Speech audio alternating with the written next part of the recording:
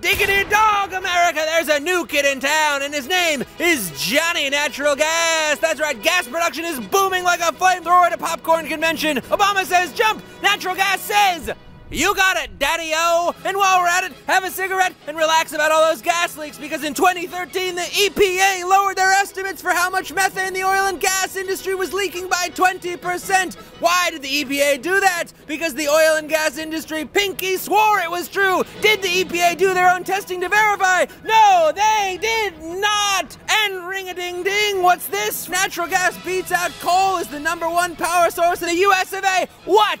an upset! Seriously, and not to belabor this point, but in 2009, America's most informed energy agency, the EIA, predicted coal would be our number one power source for decades to come, the foreseeable future. And then six years later, natural gas came through and made him look like a bunch of Charlie horses.